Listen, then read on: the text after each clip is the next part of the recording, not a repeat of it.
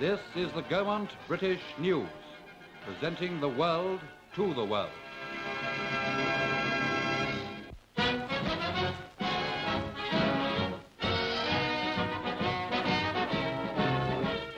Britain's aircraft industry stages the greatest shop window display in history when an impressive five-day show opens at Farnborough, Hampshire.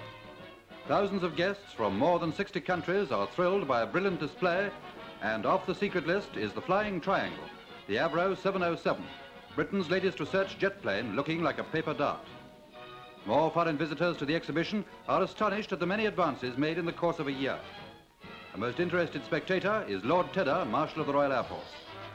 Let's take a glimpse at some of the exhibits in action.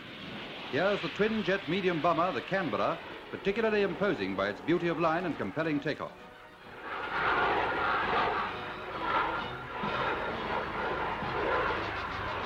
The new Handley Page Hermes.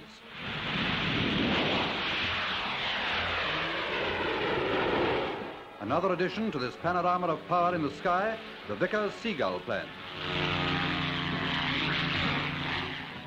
And now something different. The first public flight of the remarkable three-rotor helicopter Air Horse. The Meteor 4 fighter, with the most powerful jet engine in the world, can reach 40,000 feet in five minutes.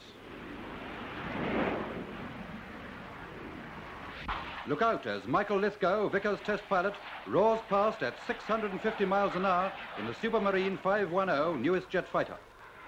And amongst this whirling galaxy of machines, fast jet planes seem to take pride of place, including the de Havilland Comet 36-seater four-engine jetliner.